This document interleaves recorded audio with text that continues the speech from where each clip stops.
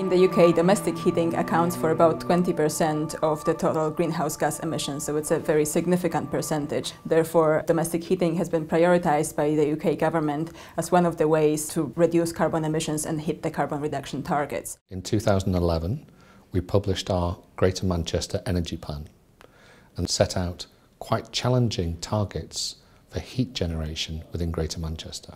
To generate electricity, we had to look at how the grid was currently operating.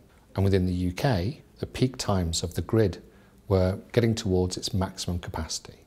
So we needed to find a way that we could generate low carbon energy, fit it into the existing grid, but also smooth out the peaks of the demand curve within our energy system.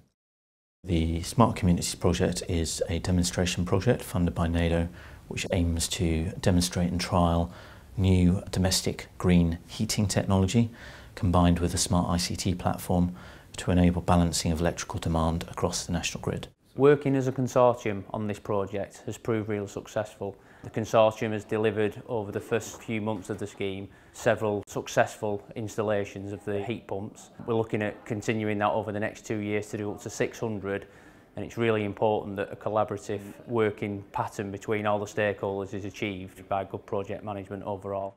What's really benefited the project in Greater Manchester is having a project management office located here within the city. And this allows us to overcome any difficulties and barriers. It allows for improved communication and increased trust.